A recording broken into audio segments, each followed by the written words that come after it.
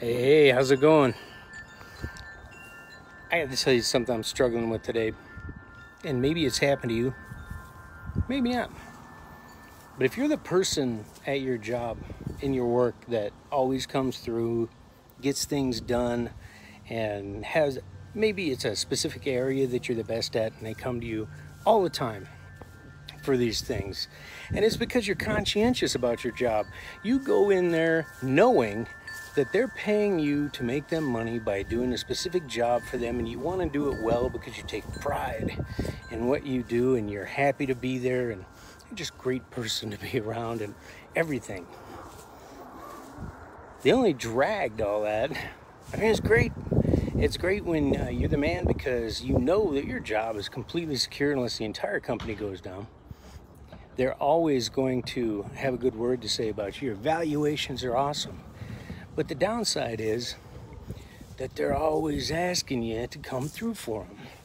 Lots of times it's when you don't really want to do it. But you do because that's who you are. That's what you're all about. That's why they ask you.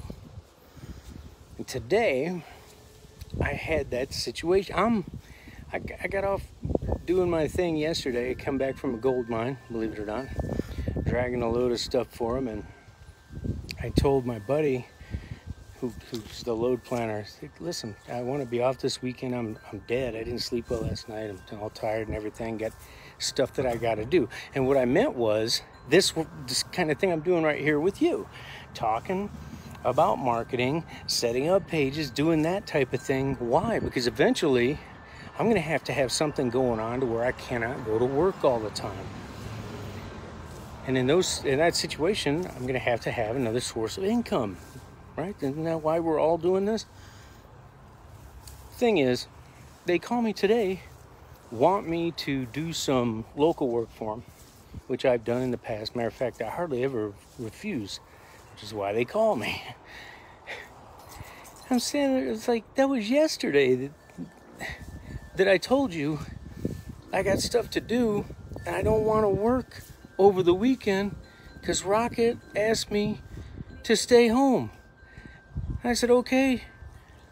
But here you are calling me, and now, and now I get this conflict inside me saying, I'm not meeting my obligation. I'm not doing the what I normally do, or maybe what I should do, because I'm doing this other thing.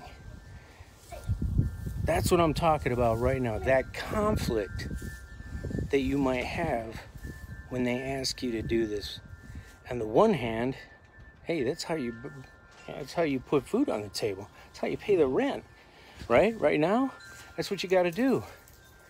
But the thing is, if you don't take the time and put in the effort on your business, you're never going to get it to the point where it can replace your income.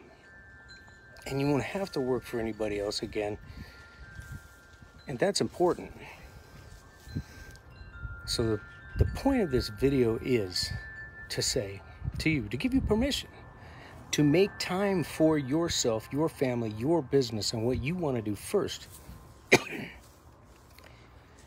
because you're going to have to do that. If you don't learn to do that, if you don't take that step, you're never going to switch over from having your normal job to being an entrepreneur and your own thing going on.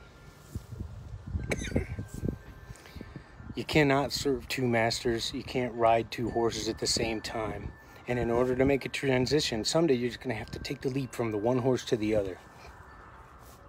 Unless you've got things in place, at least the foundation to where you can hit the ground running, it won't work out.